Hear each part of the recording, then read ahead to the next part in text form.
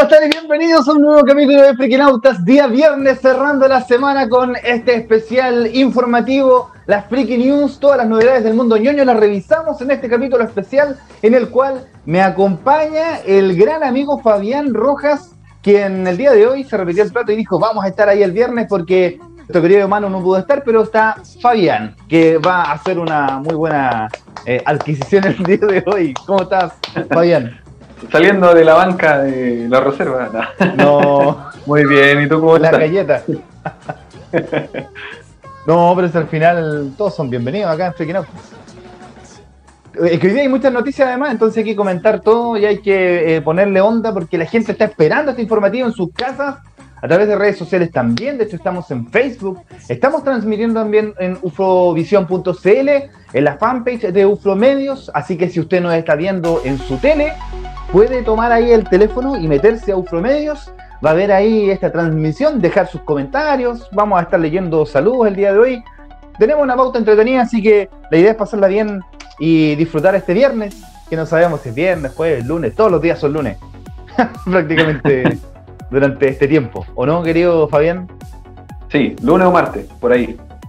Lunes, estamos por ahí, entre lunes y martes. Oye, empezamos revisando las noticias porque el día de hoy hay mucha novedad. Eh, eh, durante estos días han habido varios eh, hechos importantes. Mira, comenzamos con la celebración de los 58 años del hombre araña. 58. ¿eh? 58 años, hace esa. Spider-Man cumple 58 años luego de que fuera lanzado el primer cómic en la, el compilado, ¿cierto? En el, en el, en el libro que com- comprendía varias historias llamado Amazing Fantasy número 15.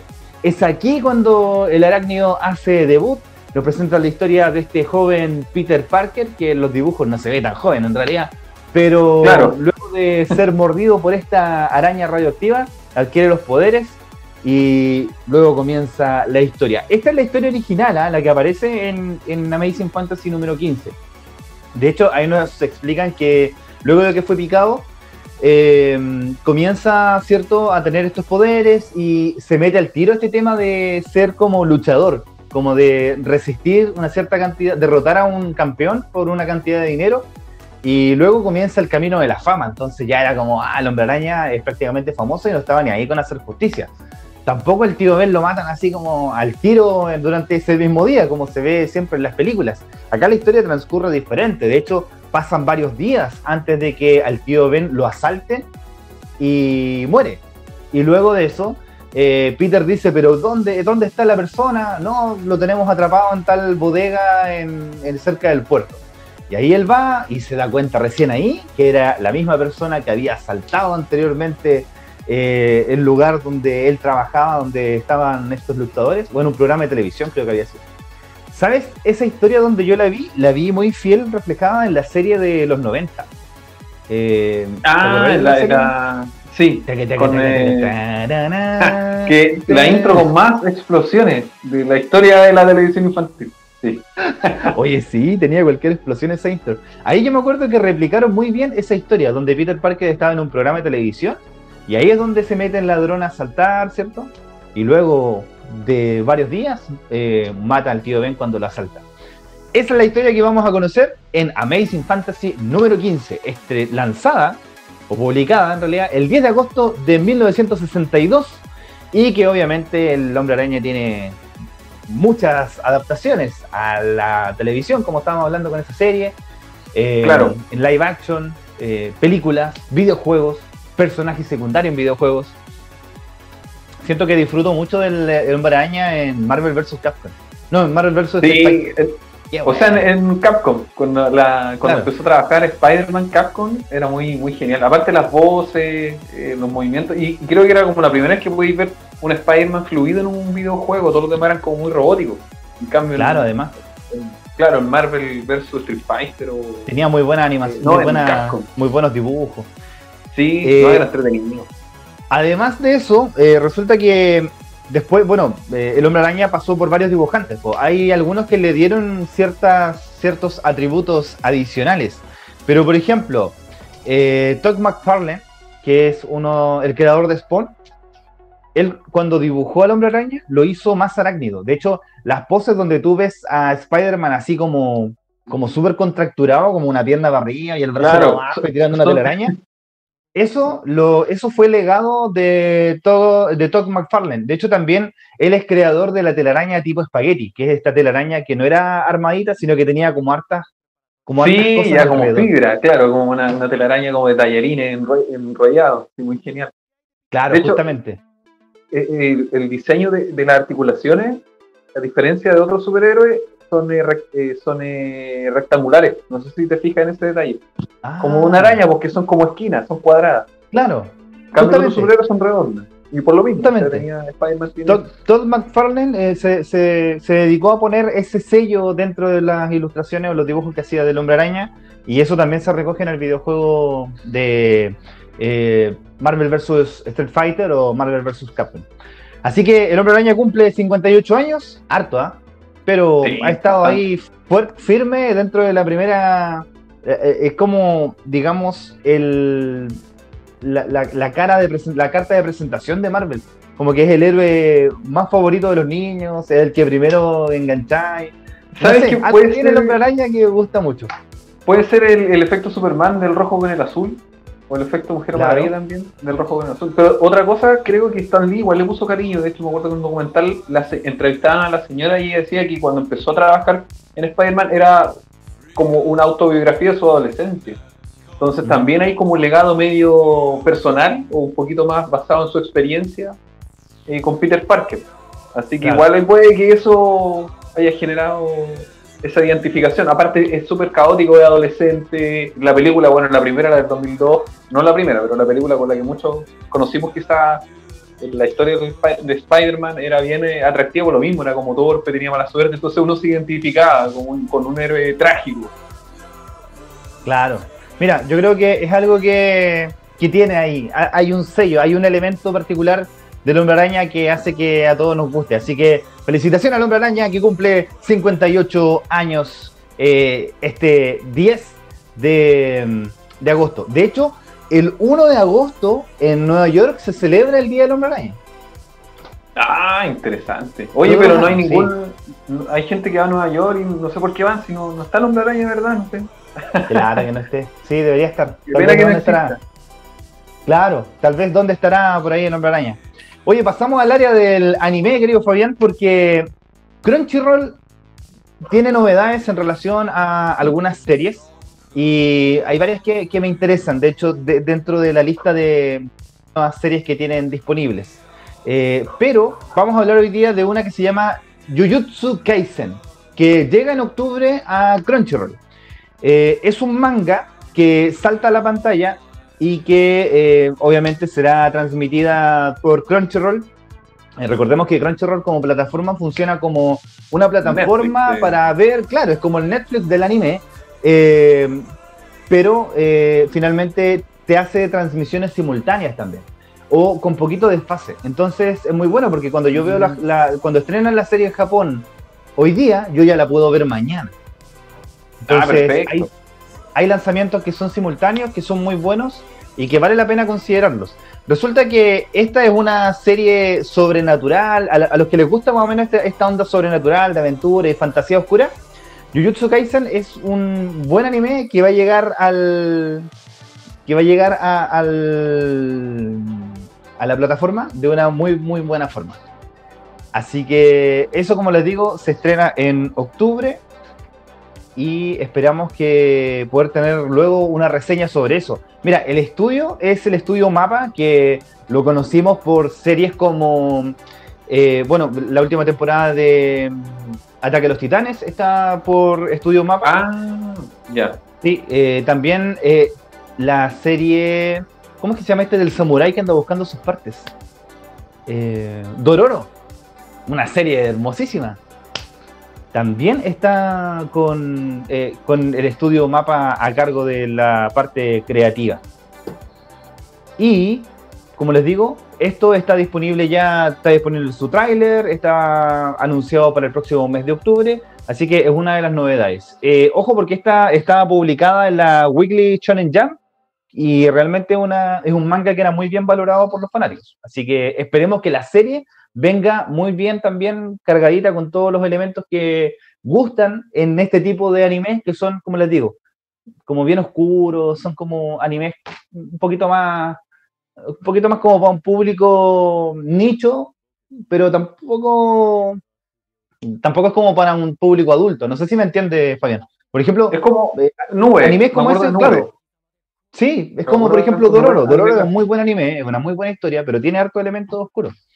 Quintaro, ¿te acordás de Quintaro? Qué bueno. Sí, oye, buena, muy buena, perturbadora totalmente. Es que el folclore japonés tiene mucho que ver con cosas que nosotros asociamos como con el mal. Eso, y ellos, eso es. ellos, e, ellos lo, asocian como a un tema más espiritual, pero claro, lo que para ellos son demonios, para nosotros tenemos otra calificación de los demonios, entonces como que tomamos occidentalmente la historia mucho más, parece mucho más bizarra quizás, mucho más atractiva. Ahora no sé si el nombre tenga que ver algo con el jiu-jitsu o tendrá algo que ver con eso. Eh, no, Jujutsu Kaisen, eh, no, creo que no. De hecho, a ver, espérame. Mira, estoy en estos momentos viendo el tema de. No, debe ser por el nombre del protagonista. Se llama Yuji. Yuji Itadori es un estudiante de secundario con habilidades ah. físicas extraordinarias que no tiene ningún interés por los deportes y prefiere aportar, apuntarse en el club de ocultismo de la secundaria. ¡Ah! Ya, mi ocultismo. ¿Qué? como, el hermano ¿Por de qué no, ¿Por qué no estaba ese taller en, mi colegio? ¿Cierto? qué, qué, es eso de, arte, arte visual? Lo que pasa es que en Japón igual... Eh, yo no sé si será verdad, pero siempre en los mangas y en los animes muestran que en las secundarias hay muchos grupos de, varios estilos. Eh, bueno, y de este modo, eh, dice, con tal de ya, sin embargo, tras la aparición de un espíritu maligno, la cosa se pone seria y su vida está a punto de cambiar por completo. Y claro, me tinca que por ahí va también asociado el tema del ocultismo, a todo este tema de los demonios, los fantasmas, algo muy común en Japón y en este tipo de animes que tienen, tienen su gracia. Particularmente a mí me gustan este tipo de animes que son un poquito más oscuros y cositas así más interesantes. Así que este es eh, Jujutsu Kaisen, anime que se va a estrenar en Crunchyroll durante el mes de octubre. El siguiente anime que vamos a revisar también llegará a octubre en Crunchyroll. Este es un Crunchyroll original. Los originals son producciones que, misma, que la misma Crunchyroll lleva adelante. Y últimamente se han basado muchos eh, Crunchyroll originals en los webtoons. Los webtoons es una especie de ah. manga coreano. De hecho, el último que vimos, The God of High School, era también un webtoon. Y lo interesante es que se desarrolla en Corea la historia. A diferencia de lo, tradicional de anime o, manga, que se, eh, transcurre en Japón. Claro, justamente. Eh, acá nos, narra la historia de Raizel en Noblesse. Noblesse se llama este anime. Eh, Raizel es un poderoso noble que despierta tras 820 años de sueño, así como un vampiro. De hecho, tiene un ah. ayudante que se llama Frankenstein, pero es, ah, como, es, como una, es como un anime de humor, porque resulta que él, después de 820 años, eh, sin conocer nada de los avances de la humanidad, tiene que matricularse en un colegio y completar su secundaria. Oye, lo asiático, la educación a ese nivel, a ese nivel. Sí, por supuesto, la educación es muy importante para la cultura asiática, tanto así que está presente en los animes. De hecho, en la mayoría de animes está presente el tema de la educación. Bueno, sin ir más lejos, las Sailor Moon usan su traje, su uniforme. Claro, de hecho, la mayoría, ahora sí, ahora que lo, que lo dice, la mayoría de los animes, sobre todo el género shonen, ocurre el 80% del tiempo en los colegios. Es que igual sirve para conectar con ese público, en realidad. Son cabros que van al liceo, van al colegio y, aparte tienen que conectar con esto.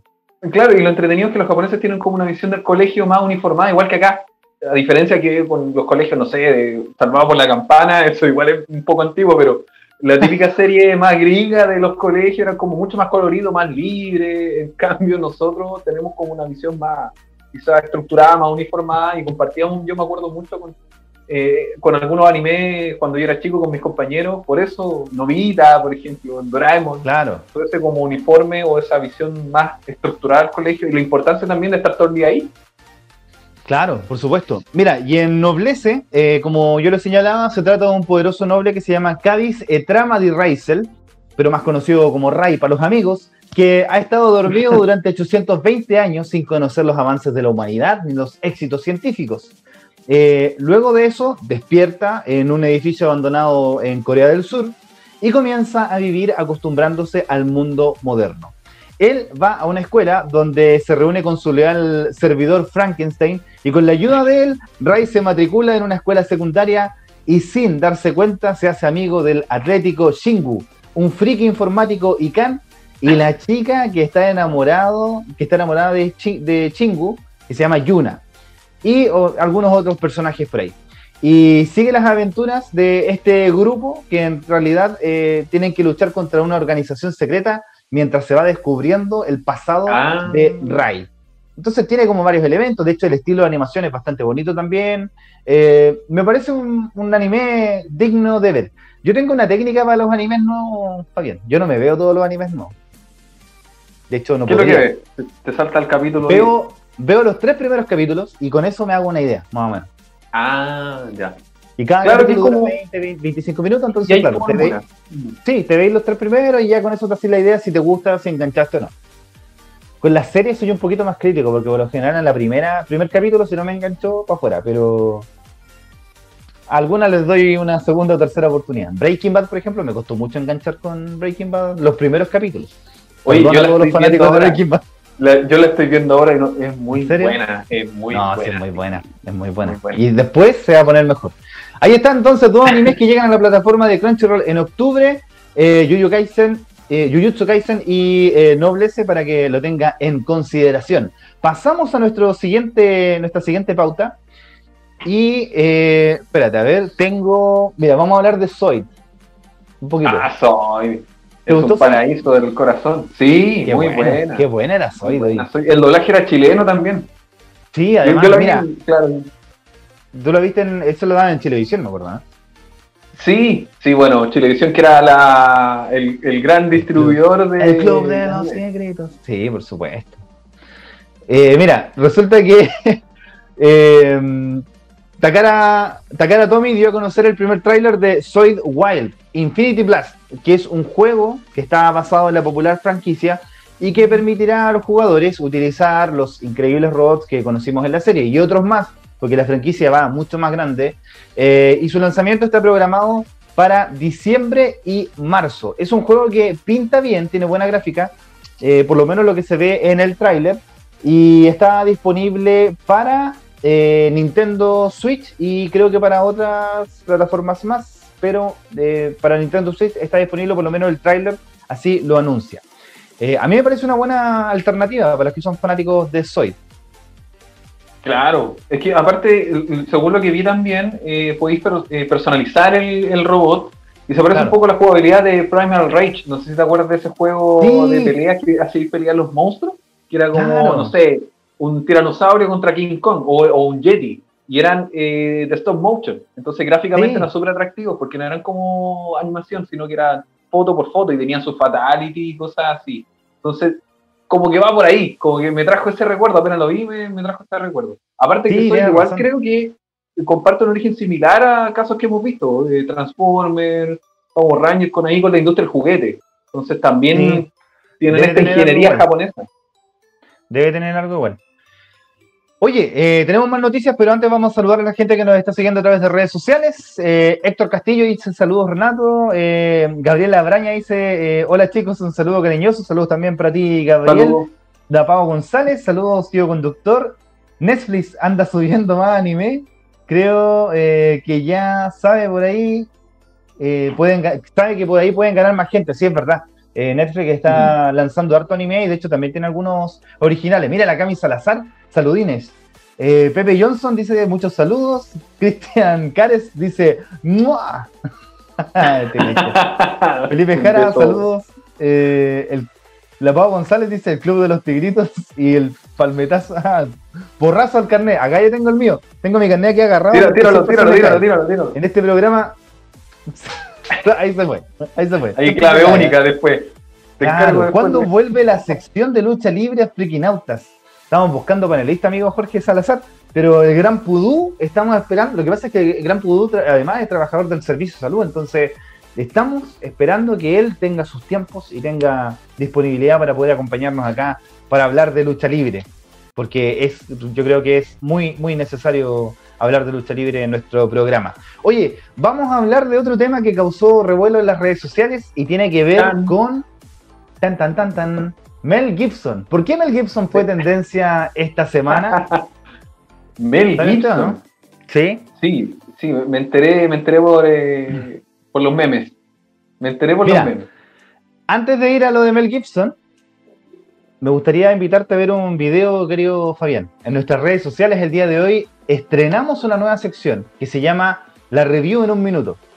Consiste eh, en hacer una review en 60 segundos de la forma más entretenida y lúdica, aplicando ahí algunos memecitos, algunos soniditos chistosos y todo el tema. y para eso comenzamos nuestro, nuestro primer capítulo de esta sección con el álbum de 80 años de Panini, que, nos está colaborando el día de hoy. Así que junto a Jason Momoa, que está en los controles, lo dejamos con este minuto de la review del álbum en 30, no, en 60 segundos. El álbum Marvel 80 años en un minuto, allá vamos. Panini nos trae esta edición conmemorativa de 8 décadas. A través de 48 páginas, 192 láminas que incluyen 32 stickers holográficos y 50 tarjetitas coleccionables, viajaremos por la historia de Marvel, iniciando los años 40 y finalizando en la década de 2010, porque la de 2020 no existe. Cada vez que abras un sobre encontrarás cuatro láminas para pegar y una tarjeta con la ilustración de un personaje Marvel. Al centro del álbum encontrarás una caja armable para guardar tus tarjetas y mantenerlas a salvo del polvo o de tu gato. Wow. Las últimas páginas traen el cómic Capitán América El primer viaje, que podrás completar con algunos stickers troquelados. ¿Te gustó el álbum y crees que no podría ser mejor? ¿Eso es todo? Agárrate de tu trono, Thanos, porque también viene la versión tapadura. Es prácticamente una edición de lujo, con una hermosa guarda interior, un papel de mejor calidad y que se verá mucho mejor en tu estantería. Si para ti el coleccionismo es algo importante, te recomiendo la versión tapa dura. Si eres más suave, puedes llevarte la tapa blanda y la cajita para las cartas, que la otra no me incluye.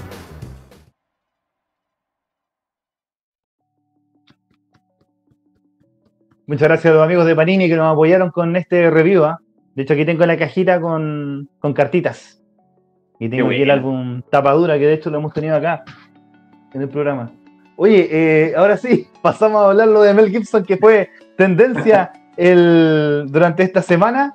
Eh, me gustaría pedirle el apoyo a mi querido amigo Mario, a ver si nos puede apoyar con, con eh, la... Mira, vamos a revisar Instagram, de hecho.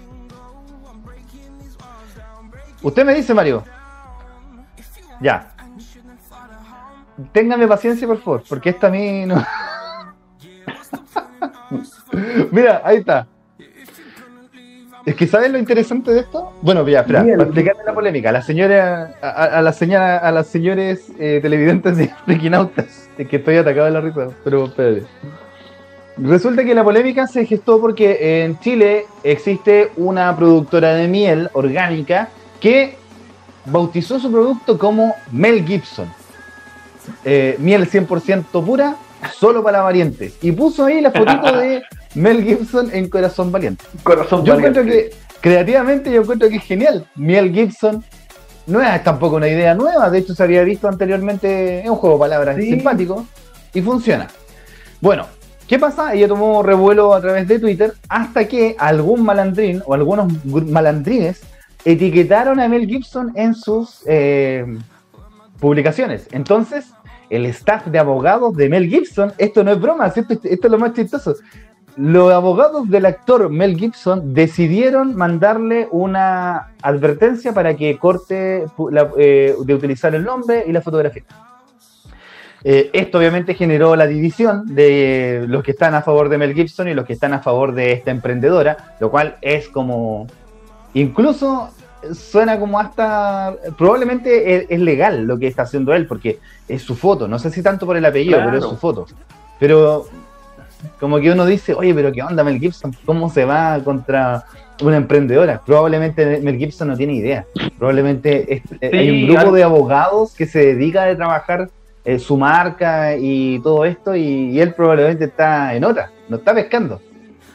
Bueno, lo chistoso, lo chistoso que yo quiero ver es que Hay- han, aparecido, han aparecido un montón de publicaciones de Se otras. destapó la caja de Pandora. Se destapó la caja Pandora porque salieron ahora a la luz todos los locales que tienen nombres chistosos, como por ejemplo Dalai Lomo. Eh, eh, Mira. es hasta contradictorio porque no creo que el Dalai Lama coma carne. porque- entonces, este, este me gusta. Sandalias Chanclón Banda. Mira, increíble. Pega, pegan unas patadas esa. Sandalias. No, un chanclazo, un chanclazo Van Damme, no te lo sacáis más. La carnicería Paul McCartney, loco. Este, este era lo máximo, weón. Oye, pero mira, ahí. Claro, ahí. No sé, es Sale que es la- es como carne la al calidad. E- Eso es muy eh, apropiación, pero como de la cultura, no sé, como eh, integrado, no sé si Claro. teóricamente tiene un nombre, como la gente de la cultura pop cuando ya pasa a ser No. parte del día a día del almacén de la esquina. Mira, Jurassic Este Park. es muy bueno igual. y sale un, y sale un- un pterodáctilo llevándote pancito ahí a domicilio. Ah, Mira qué interesante.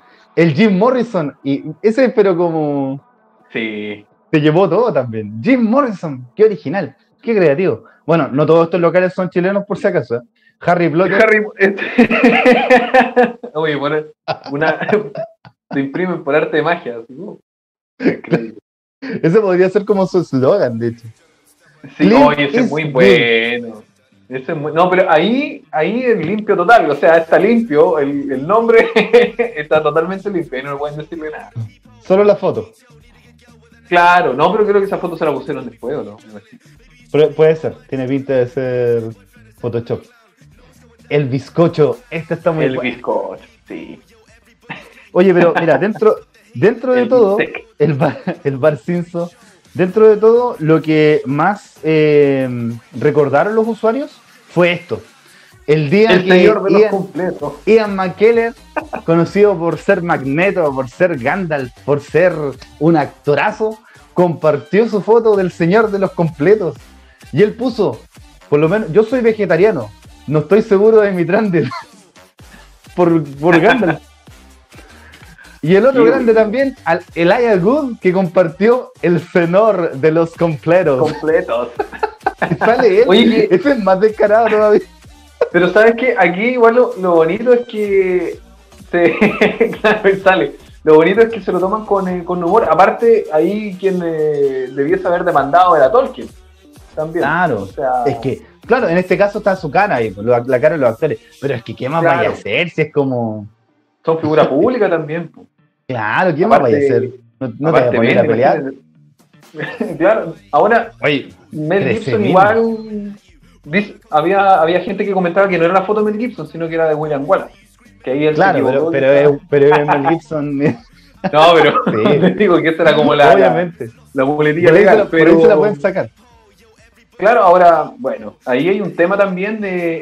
eh, yo creo que también Hollywood o los actores, no sé, me imagino que la industria está un poquito desesperada y que están buscando plata o están buscando tener ingresos por cualquier medio, ya que Sí, la industria está parada, las producciones están paradas. Mel Gibson Sí, igual, eh, él, claro, es más productor ahora en este último tiempo que, que netamente un actor, entonces algo hay ahí, quizás cuántas demandas también tiene a nivel mundial, o sea, Eh, igual es un emprendimiento muy, igual es creativo, Es pequeño, es familiar, claro, tiene harto. pero ahí el cosas. problema es que está la imagen del actor, está el apellido, y bueno, ahí no está, no sé, eh, lamentablemente esto, o para bien o para mal, estos eh, haters, no sé cómo decirlo, esta gente típica de Twitter que uh, etiquetó al, al Sí, a mala onda. y mató la broma. Con eso. Mató la broma, por supuesto. Mató, mató Oye, la miel. Imagínate, pobre abejita, ahora van a quedarse santos. Sí, y lo que ella dice, la, pro- la- la emprendedora dice que, claro, le jodieron un negocio familiar, si uno lo tira para la talla, pero en realidad el tema es más serio, por lo menos para, Ah, para la familia. Mira, la Sí, siguiente no, noticia y la última para ir cerrando, porque ya estamos en, en tiempo, de hecho estamos pasándonos un poquito, tiene que ver con Ah. Que también fue trending topic el día de hoy, porque dicen que se arrancó la Annabelle. Ahí está, comiendo. Hoy no, pero es que no nos se puede reír de esto tampoco. Pero, de la oye, noche. ah, Mira, Claro, resulta que Ana- es la original. película del conjuro, la película del conjuro, Annabelle, esa muñeca fea que nosotros conocimos en la película, no es así. Es como la que aparece ahora en pantalla. Es Exacto. una muñeca muy bonita que de hecho la venden en Chile, la venden en, en páginas de, de antigüedades todavía, está a la venta. esta muñeca la tienen eh, encerrada en esta caja donde le hacen eh, bendiciones cada cierto tiempo, viene un cura a bendecirla, eh, además tiene agua bendita, tiene un montón de protecciones, está sellada, está cerrada completamente. Resulta que en Twitter salió el rumor de que se había escapado. Entonces, lo mejor que nos dejó esto fueron los memes, obviamente, todos publicando Claro. memes de Annabelle y cosas así. Yo hoy día, en la noche haciendo memes, o sea, en el día haciendo memes y en la noche llorando porque me da miedo, cosas así. Resulta que eh, confirmaron que no era así, que efectivamente no, nunca escapó Annabelle, que en realidad No, todo fue al era baño una- nomás. que todo era una farsa. baño. Sí, y que en Por realidad está todavía en el museo, así que no hay nada que temer. Annabelle está en perfectas condiciones y nosotros terminamos el programa aquí, porque misteriosamente se van a empezar a caer las cosas y todo. Querido Fabián, eh, 10 segundos para mandar saludos. Eh, saludos a todos los que les gustan las películas de terror, pero ténganle más miedo al, al- a lo que está ocu- ocurriendo ahora, más que una muñeca que se haya escapado. Cuídense, eh, mantengan igual las medidas y eso más que nada, o sea, mantengámonos lo más conscientes de lo que está pasando posible, sin caer en la paranoia, pero eso, harto ánimo también. Muchas gracias a toda la gente que siempre nos ven, agradecer como siempre su sintonía, agradecer también a Ufromedios por permitirnos hacer este programa con todas las medidas de seguridad, tanto allá en el estudio con Jason Momoa como nosotros que estamos en estos lugares eh, tan protegidos y tan aislados. Nosotros nos encontramos el lunes a las 6 de la tarde, chiquillos que tengan un excelente fin de semana, descansen, aproveche de regalonear a todos los niños porque este fin de semana es el Día del Niño eh, oficial comercialmente hablando. Así que aproveche también de regalonearlos a todos ellos. Junto a Fabián Rojas, me despido. Cuídense, lávense las manos, usen mascarilla, evite salir a menos que sea estrictamente necesario. Y nos vemos el lunes a las 6 de la tarde. ¡Chao! ¡Adiós! ¡No! ¡Derroté! ¡Ah!